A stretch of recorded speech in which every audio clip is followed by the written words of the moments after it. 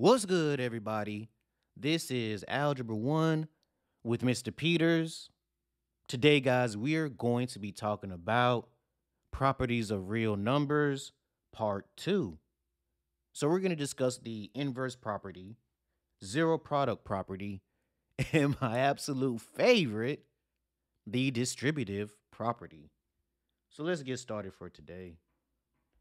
So as we start, guys, we should know that the inverse property is when we're using opposites to cancel out a value. And when we start off with the inverse property of addition, right? That means that we're going to be, we need to know that the sum of a number and its negative, its opposite, is always zero. So let's say we have a plus negative a, right? This is what this property is telling us. And when we use, when we go to the uh, numerical part of it, and we have 10x, and we add its opposite, negative 10x, we should know that that's going to give us zero. And if we see something like that, that's just the inverse property of addition. All right. Now, when we talk about the inverse property of multiplication, the rules are just a little bit different. So with the multiplication side, what we're seeing is that the product of a number and its multiplicative inverse, its inverse is just its reciprocal, right? That's all that means. It's always going to be 1. So let's say we had an example a divided by b multiplied by b divided by a. What we should know is that this is just going to simplify to 1. Okay? It's just going to simplify to 1. And when we look at an actual example, let's say we had 3 and we multiply by its inverse, 1 over 3.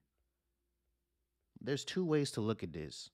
We could just cross cancel and be left with 1. Or if we did multiply straight across, all right, let's rewrite this we would notice that we're still going to get an answer of just 1.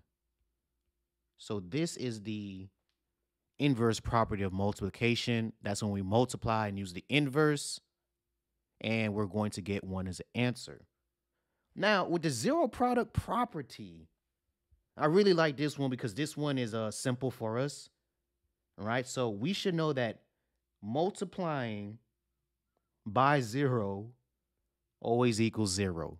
That doesn't matter if there's an exponent involved, a variable, anything you multiply by zero is always going to be zero. And we're going to put two examples for this one. So 17 times zero, zero product property, we know it's going to be equal to zero. And then once we go ahead and uh, we do the same thing with, let's say, a variable, negative a multiplied by zero, we're still going to get the same answer of zero. So when it comes to the zero product property, guys, just remember anything that you multiply by zero will always equal zero. All right. So the very last property, and this is the one that you guys are going to see the most in algebra.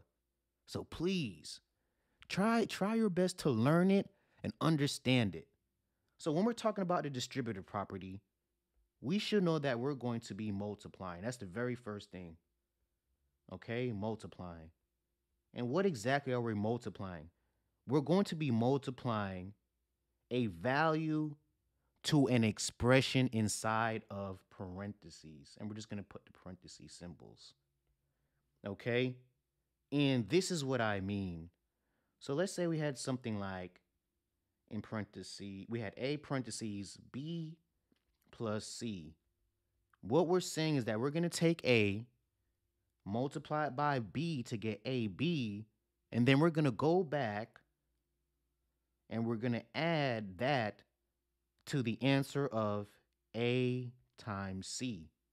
And if you notice, we multiplied A by both terms or every term inside the parentheses. All right. So with our second example, let's substitute some numbers in so we could get a better idea of what we mean. So let's say we had something like 2 and in parentheses x plus 4. And after we distribute, right, after we multiply, we should have 2 times x plus 2 times 4. Now, when we simplify this again, we're going to have 2x plus 8. And at this step, we're going to stop right there because we know that 2x and 8 are not like terms. There is nothing else for us to do. So, thank you guys for joining us today. This is Algebra 1 with Mr. Peters. Please make sure that you guys subscribe to our channel, like our videos, leave a comment down below. Let us know if there's any other videos or topics that you would like for us to cover. And we'll see you guys in the next video. Thank you.